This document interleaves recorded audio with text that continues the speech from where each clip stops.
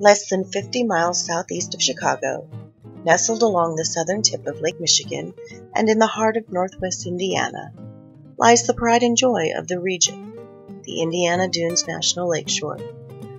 Many know it as a family tradition for their yearly vacations, as it boasts activities like swimming and hiking. Others may know it as the home to some of the United States' most bustling steel mills that still line the lakeshore today.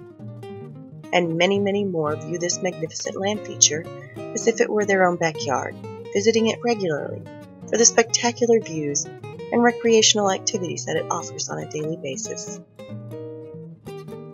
Although this majestic and highly studied natural landform has been given several labels like home or getaway, it lived a long life before being plagued with human interaction and experiencing its side effects.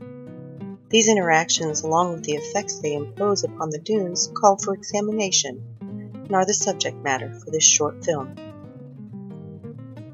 Indiana Dunes National Lakeshore Human Interactions as an Effect on Ecology.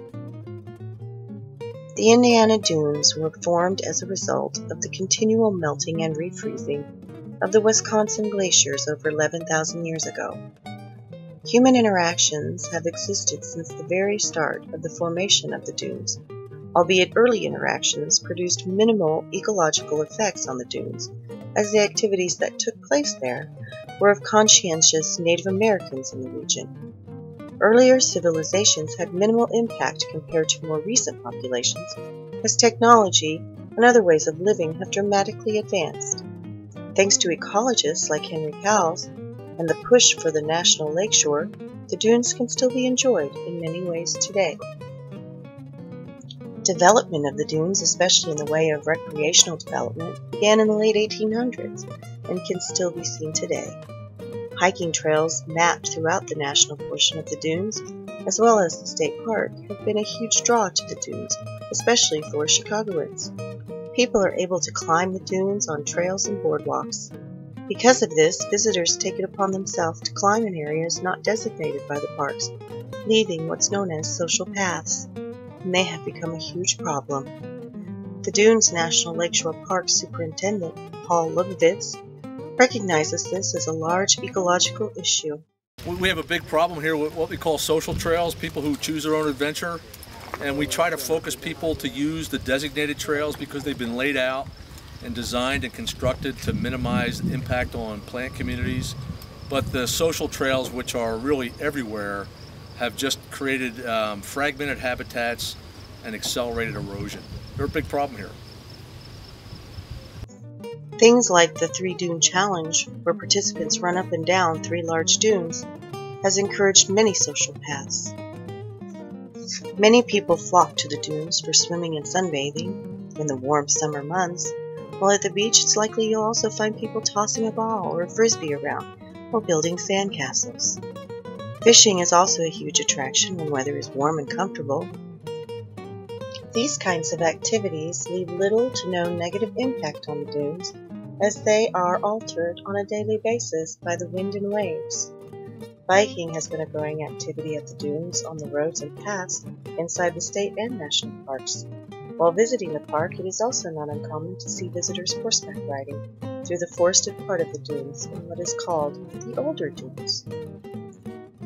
Camping and picnicking are among the most highly favorited activities in the Indiana Dunes State Park as well. One major problem with this is that it creates litter problems and encourages erosion Plus, the more hard surfaces constructed on the dunes, the more of an impact there is on watershed and destruction of the ecosystem. One of the biggest human interactions since the late 19th century has been the development and use of steel mills and power plants right along Lake Michigan. Although the steel mills are a big industry and at one time employed a large number of people, they unfortunately have done irreversible damage and have been the single most detrimental impact on the dunes. Entire dunes have been wiped away for the construction of these mills.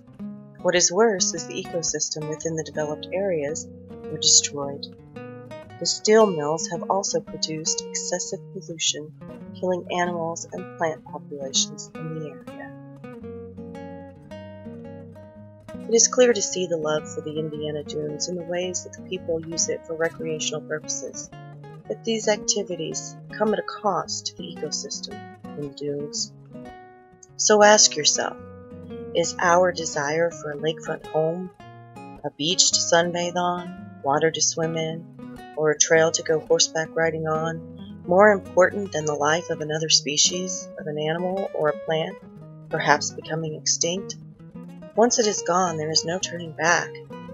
Be conscious of your impact on the ecosystem. You never know which plant or animal is the key to your own survival.